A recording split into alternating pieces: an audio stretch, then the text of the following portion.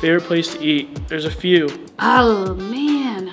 Well, actually, my favorite place to eat is probably at home with friends because we do a lot of cooking. Zorba's on Mondays for sure. My favorite place to eat is uh, Dolphin Cove. Pisces Pizza is probably my favorite place.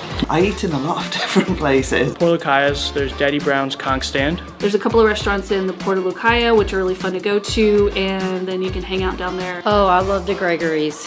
oh, DeGregory's, no question. DeGregory's and is my is. favorite place to eat, without question. And there's Larry right there.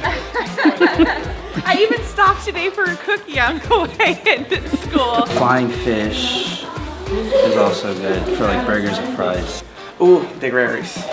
Oh, ah, eat there way too many times. Flying Fish, 100%. Ooh, I like Rum Runners. I love their nachos and their burgers. Stonecrest. There's actually this new place out by Queens Highway. They do some sushi sandwiches, so that, that's now up on my list. The new Italian place we call Elmo's, but is Elmo di Turnu. That's why we call it Elmo's, because we can't say it. The Stonecrest. The Galley at Exquisite. My favorite place to eat on the island is at home because I typically just cook for myself every single night. I don't really go out to eat all that much, just I just have a bike, but it works for me.